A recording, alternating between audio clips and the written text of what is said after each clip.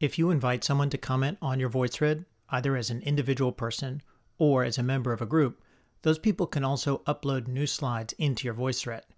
Don't worry, you can turn this ability off in the playback settings for the VoiceThread if you don't want them to be able to do this. But before you do, let's just take a look at exactly how this feature works and how it can make your VoiceThread into a much more collaborative space. Here's a VoiceThread that I've been invited to comment on. I can't edit it like an editor or an owner can, by changing the sharing or playback preferences. But if I want to upload a piece of media into it, I'll just click on the Slide Navigator button down here, then click on the Add Media button, where I can then decide what kind of slide to add. I can record an audio slide, a webcam video slide, or click this button to upload something I already have. So I'm going to upload a video here, but you can upload documents, presentation slides, images, and other types of media too.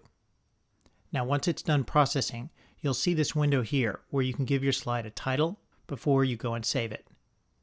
Now you and everyone else who can see this VoiceThread will see your slide, but only you will be able to edit or delete your own slide, and you won't be able to edit or delete or move anybody else's slides. Only the editors of the VoiceThread will be able to edit, delete, or move all of them.